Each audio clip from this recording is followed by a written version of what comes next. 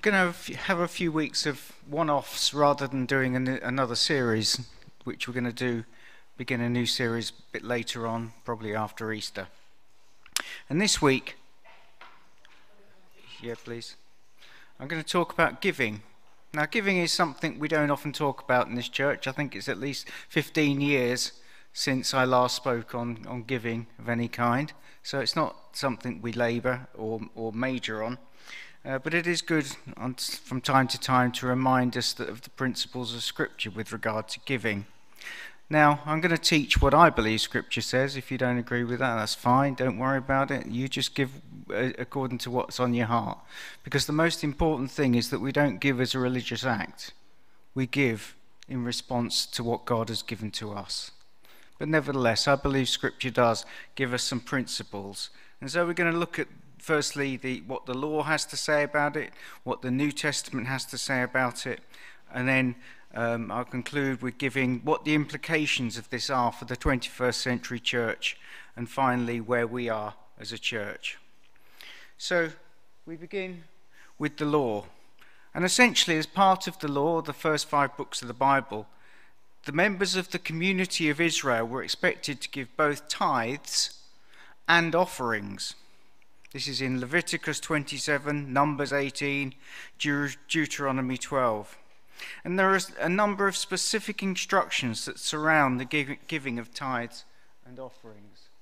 Firstly, the tithes were the first fruits and were to be given in Jerusalem. In other words, when the first part of the harvest came, the first income of the year, it was to be taken to Jerusalem and offered up.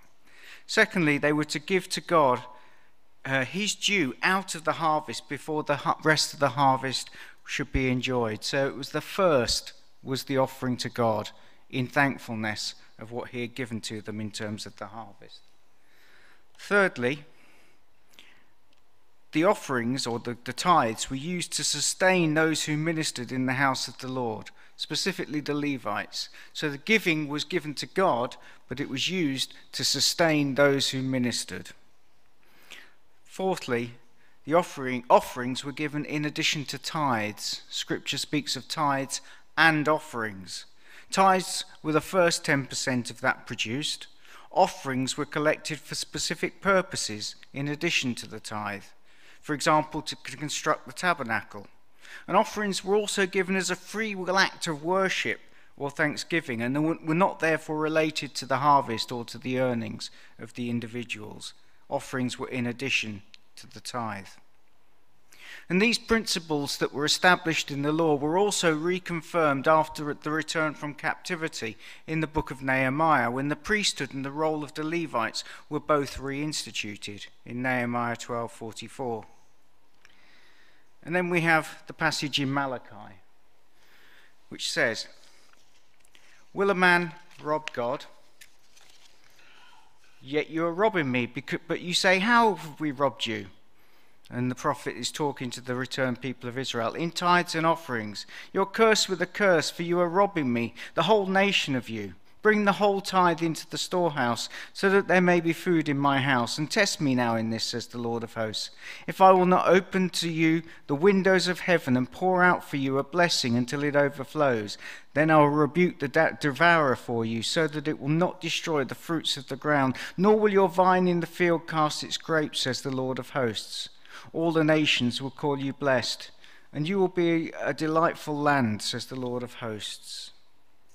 So the complaint against the returned exiles that came through the prophet Malachi in the post captivity period was that they were robbing God by not bringing the whole tithe into the storehouse. And thus God's house lacked food, and therefore the Levites were disappearing back and doing other jobs because they couldn't be supported. The result was that their own harvest was suffering blight and shortage. In other words, because the people weren't tithing, the house of God couldn't run properly and they were not receiving the blessing of God. The opposite of that principle is that God will bless and bring abundance for those who gave the tithe. And that's also confirmed in Ezekiel 44:30. So that's the Old Testament principles of tithing and offering. Now we turn to the New Testament. And in the New Testament, there's only one reference to tithing in the whole New Testament. And that's where Jesus condemned the Pharisees when he said this Woe to you, scribes and Pharisees, hypocrites, for you tithe mint and dill and cumin, or cumin, and have neglected the weightier provisions of the law, justice and mercy and faithfulness. But these are the things you should have done without neglecting the others. In this, Jesus doesn't condemn tithing. Quite the contrary. You've practiced the latter without neglecting the former, he says. But rather, he affirms that if it's carried out as a religious practice without implying the more important issues that the law highlights, which are all about offering the grace, compassion, and justice of God, then it's of little value. He doesn't say don't tithe. He just says there's more mo- most important thing is that we seek justice to the poor and to the needy. So Jesus says that's the only thing Jesus says about tithing in the whole of the Gospels. So we turn to the epistles. And Paul doesn't mention tithing specifically, but this is what he does say in 1 Corinthians 9 1 to 13. I hope you can read that. I had to squeeze it onto one slide, but I'll read it anyway. Tests how old you are and how good your eyesight is, this one. My defense to those who examine me is this do we not have the right to eat and drink? Do we not have a right to take along a believing wife, even as the rest of the apostles and the brothers of the Lord and, and Cephas? Or do only Barnabas and I not have the right to refrain from working? Who at any time serves as a soldier at his own expense? Who plants a vineyard and does not eat the fruit of it? Or tends to a flock and does not use the milk of the flock? I'm not speaking of these things according to human judgment, am I? Or does not the law also say these things? For it's written in the law of Moses, You shall not muzzle the ox while he is threshing. God is not concerned about oxen, is he? Or is he speaking altogether for our sake? Yes, for our sake it was written, because the ploughman ought to plough in hope, and the thresher to thresh in hope of sharing in the crops. And if we sowed spiritual things in you, is it too much if we reap material things from you? If others share the right over you, do we not more? Nevertheless, we do not use this right, but we endure all things so that we will cause no hindrance to the gospel. Do you not know that those who perform sacred services eat the food of the temple, and those who attend regularly at the altar have their share from the altar? What Paul affirms here is that those who preach the gospel should earn their living from the gospel. And he's not just talking about evangelizing, he's talking about those who minister amongst the people of God he also gives the instruction in the context of affirming his own apostleship. And so, what Paul is affirming here is that those who minister full time should not expect to have to earn an income from outside the church. And in this passage, he draws a direct comparison with those who serve in the temple, and thus affirms the principle that just as the Levites were provided for out of the tithes of the people, so ministers in the church should also be provided for out of the giving of the people. That's essentially what he's saying. In 1 Timothy 5:17, speaking of payment to elders, he says, "Elders who rule well are to be considered worthy of double honor, especially those who work hard at pre- preaching and teaching." Accordingly, the church should therefore not be niggardly in paying those who lead and should pay, pay them well. He adds to this the following verse to confirm his meaning. For the scripture says, You shall not muzzle the ox while he is threshing, and the labourer is worthy of his wages. And by the way, I'm not looking for a pay rise here. I should just say that. It's always the hardest thing for any leader to speak on giving. So that was the, the Timothy scripture. And then there's one more scripture that speaks about giving, which is in 2 Corinthians 9 6 to 11, which says this now, this I say he who sows sparingly will also reap sparingly, he who sows bountifully will also reap bountifully. Each one must do just as he has purposed in his heart, not grudgingly or under compulsion, for God loves a cheerful giver. And God is able to make all grace abound to you, so that as always, having all sufficiency in everything, you may have an abundance for every good deed. As it's written, He scattered abroad, He gave to the poor, His righteousness endures forever. Now he who supplies seed for the sower and bread for food will supply and multiply your seed to sowing and increase the harvest of your righteousness.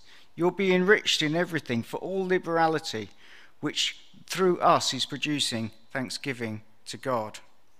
And Paul reiterates here the principle that we found in Malachi that those who give generously will receive greater blessing back from God, who will ensure that the needs are, that all our needs are met. And he actually instructs us in that verse, in verse 7, that the literal in the Greek is give hilariously, give with a smile on your face, give in joy, give because it's fun. Not always feels like fun, does it? But that's what Paul is telling us. So, how do we apply all this? The Old Testament tells us tithes and offerings, the New Testament tells us to give and to give abundantly because we will be blessed if we do. And here are some principles that I believe come out of the law of tithing that are affirmed in the New Testament and we can apply to ourselves in a new covenant context. Firstly, we're instructed specific, not instructed specifically to tithe, but to give generously. And this should be the expression of a heart given over to God and should should be done with a smile on our face. I believe actually the principle of Scripture is God has given everything to us, and everything we have is His. Everything. And we should give everything to God. And out of that heart and, and, and, uh, heart of giving, our, our offerings should flow. Secondly, when we give, the money should be used primarily to support those in ministry. Obviously, in our modern context, it also needs to be used to support other activities, to pay our rent for this hall. In the first century, they didn't have such concerns because they met in their homes. But we do have other expenses. But primarily, the more that's given, the more people can be released to serve the body and to do the mission that we're called to do. Thirdly, they were, the Old, in the Old Testament, they were bought, told to bring this into the storehouse, the tithes. Um, and, the, and under the law, that storehouse was the temple, the place where God's people went up to worship. But in the New Testament, we are the temple of the living God. And our gifts should go primarily into our local storehouse to support the work of ministry amongst us. This doesn't preclude additional offerings being given elsewhere. Paul frequently refers to his own collection to alleviate the poverty of the saints in Jerusalem. And in fact, it's in this context that he affirms hilarious giving. But our primary giving should go into the local storehouse, I believe. And then, fourthly, our gift isn't given to the church. Our gift is given to God. I'm not giving just to the church, although the church will receive it. I'm giving to God, and it's an offering of my heart to Him in thankfulness and appropriately for all He's given to me. And this is important because we don't give primarily to support the work, although that's what it will be used for, but rather because it's what God expects of us. This means also that it's not up to us to try and control what use is made of it but rather to trust those who are appointed to use it appropriately. If we don't trust them with our money, how can we trust them with our spiritual well being? Fifthly, in affirming the Malachi principle that if we give generously, God will bless us, by implication, Paul is also affirming the other Malachi principle that if we don't give, we're robbing God, and this will cause a blight on our own produce. And then, sixthly, the question is are we required to give a tithe 10%? Well, I'd say not specifically, but the principle of giving 10% is a good one to enable sufficient resource to be released to minister amongst us. I believe the emphasis, though, is on giving generously rather than a restricted or specific sum. And so we should give as much as we can. As Paul says, each of you should give what you've decided in your heart to give, not reluctantly or under compulsion. The important thing is that our giving flows out of our heart, not just out of principle. Some would argue that the law is no longer relevant for us since Christ fulfilled the law. And so it's not appropriate to draw principles from the law and apply them in a New Testament context. But there are two ways to approach this concern. Firstly, while, while we're not bound by the law, that doesn't mean we ignore the law. Both Jesus and Paul took elements of the law and reinterpreted them for the church. And it could be argued in the Sermon on the Mount that Jesus actually pushed the bar up higher with regard to righteousness than the Levitical law.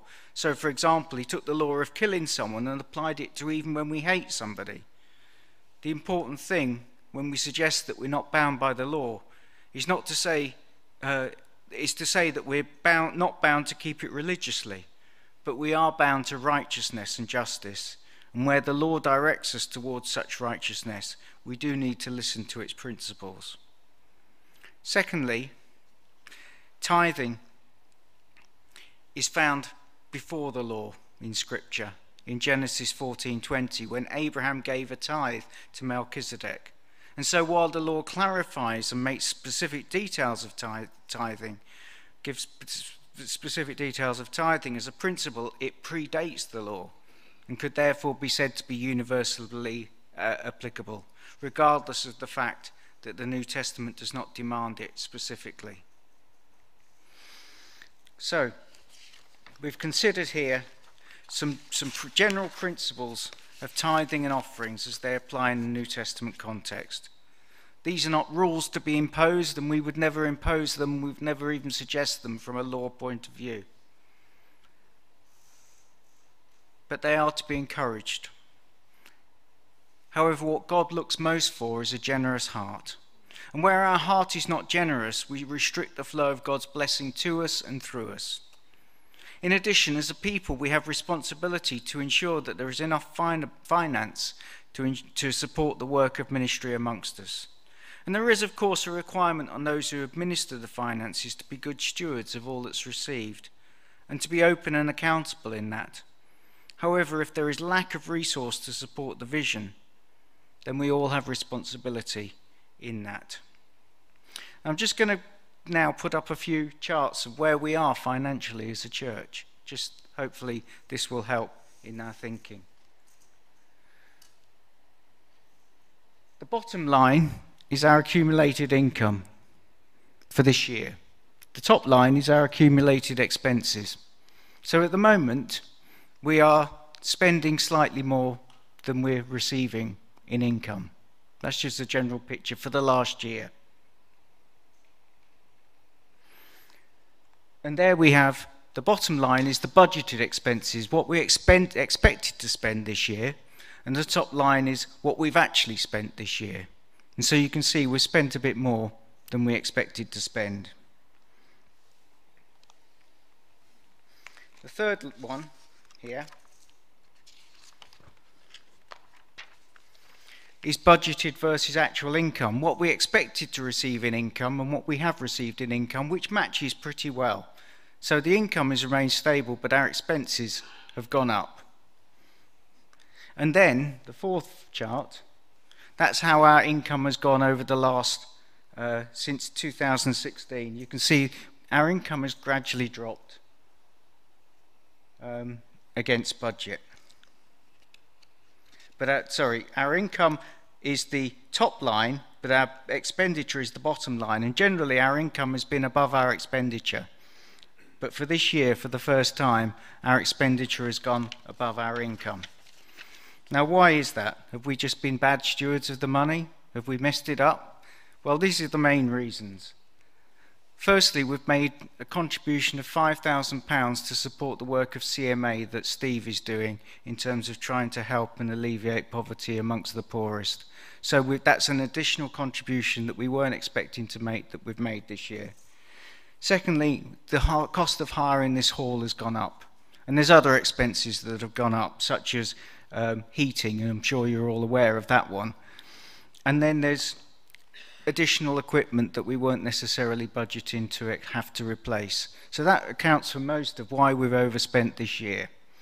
But obviously, there is a limit to how much we can overspend going forward. And so this in this last slide, the reality is we, at the moment we have good reserves, and so we're not about to get to be bankrupt as a church. That's good news. But we do have increased costs, and we all need to be aware of that. And that's not going to go away. It's only going to continue as uh, things bite in the years to come. But on the positive, I believe there's much more that we can do in this place, in Beverley. And we need resources to be able to do that. And so that's an encouragement for us, each one of us, to consider what we do and what we can give in order to see more released and more done out of who we are and what we do. And then, lastly, my last point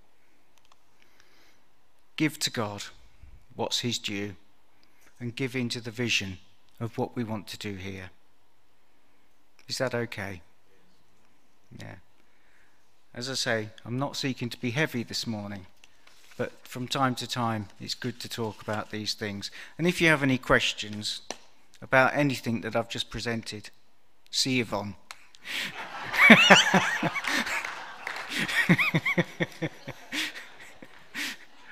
no, feel free to, to, to talk about the principles as well to me if you wish to. Thanks, everybody.